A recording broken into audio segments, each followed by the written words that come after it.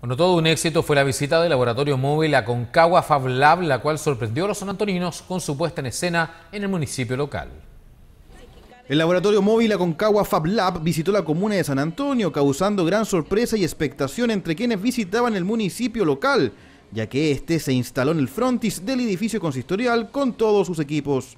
Para los visitantes, lo que más llamó la atención fueron las impresoras 3D y láser en madera, las cuales fueron expuestas y explicado su funcionamiento por parte de los profesionales del laboratorio móvil, quienes están realizando una itinerancia por toda la región de Valparaíso. Traemos distintas máquinas desde Valparaíso, eh, donde mostramos la más conocida es la impresora 3D, pero también tenemos otro tipo de máquinas como el plotter de corte, router CNC, láser. Entonces, al final, la, idea es poder mostrar esto, esta, esta tecnología que está tan encerrada en las universidades, a la comunidad en general. La visita estuvo enfocada al público general, donde el alcalde Marvera Castro visitó los distintos stands tecnológicos y fue invitado a participar de este a través de un escaneo para replicar su figura en una impresora 3D, lo que fue valorado por el edil y agradeció al equipo de Aconcagua Fab Lab por su visita. Hemos podido apreciar eh, lo,